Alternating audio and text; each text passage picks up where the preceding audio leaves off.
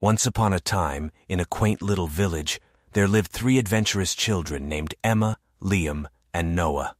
They were the best of friends and loved exploring the woods surrounding their village.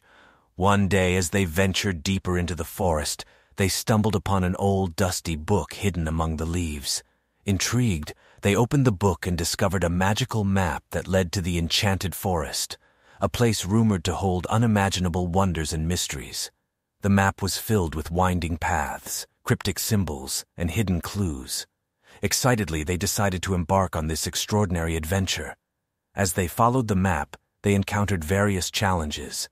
They solved riddles from talking trees, crossed shaky bridges over bubbling streams, and escaped the clutches of a mischievous pixie who tried to play tricks on them. Their teamwork and friendship helped them overcome each obstacle.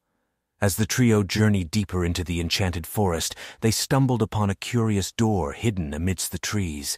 To open it, they needed to find three enchanted keys scattered across the forest. Each key was protected by mythical creatures like unicorns, griffins, and talking animals who tested their bravery and wisdom. Through their bravery and quick thinking, the children obtained the three keys and opened the mysterious door.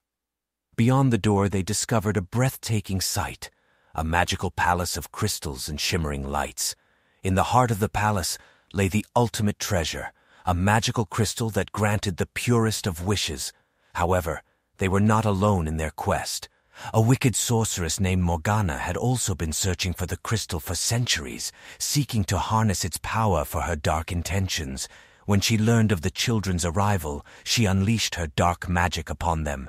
Despite the odds, Emma, Liam, and Noah stood together and bravely faced Morgana. They utilized their creativity, kindness, and love for one another to weaken Morgana's dark powers. With the help of the crystal's magic, they overcame the sorceress and sealed her away. As a reward for their courage and good hearts, the crystal granted the children each one's special wish. Emma wished for a world where everyone could live in harmony.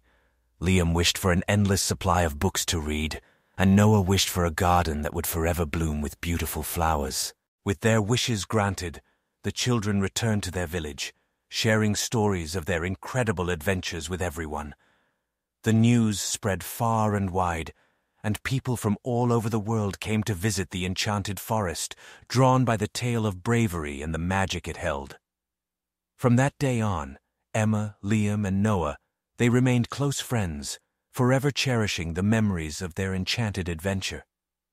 They knew that the true magic was not only in the treasures they found, but in the bonds they had formed and the lessons they learned along the way. And so, the enchanted forest's legend lived on, inspiring generations of children to embark on their own thrilling adventures.